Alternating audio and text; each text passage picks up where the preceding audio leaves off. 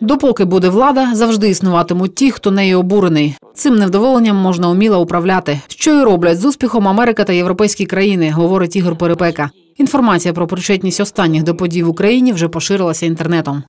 Онлайн-агентство Young Welt сообщило о том, что э, партия «Удар» была организована э, э, немецким фондом Конрада Аденауэра.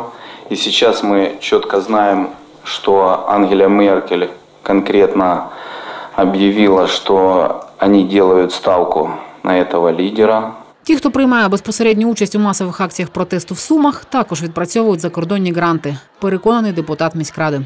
Сумские братства Сумщины, и это у них есть на сайте, финансируется э, фондом Ведроджиня. Вы знаете, это люди, конечно, хорошо обучены. Ни для кого не секрет, что господин Тищенко и э, госпожа Ольга Марченко два месяца проводили в лагере для молодых революционеров, финансирующих, финансируемые американским посольством. Ігор Перепека впевнений, флешмоб, що влаштувало студентське братство Сумщини на останній сесії міськради, добре спланована акція, причому проплачена.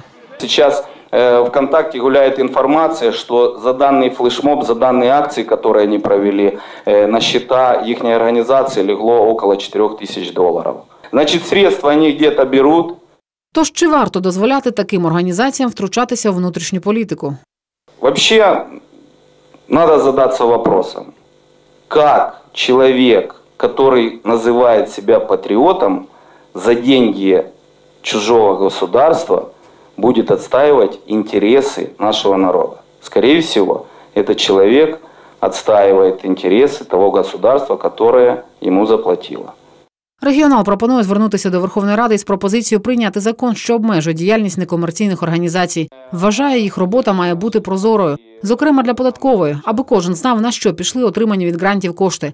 Ігор Перепека вже подав інформаційний запит до фіскальних органів щодо джерел фінансування сумських громадських організацій. Жанна Світлакова, Руслан Павлов, АТВ.